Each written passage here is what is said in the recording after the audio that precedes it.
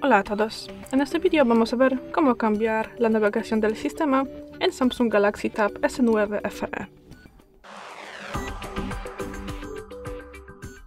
Para hacerlo tenemos que al principio abrir los ajustes y luego pasamos a la pestaña pantalla. Tenemos que bajar un poquito y luego tenemos que entrar en barra de navegación.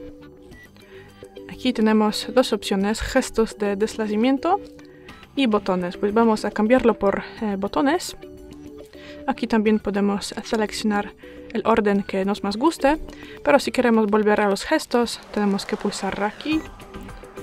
Y aquí también podemos entrar en más ajustes eh, de este tipo de navegación.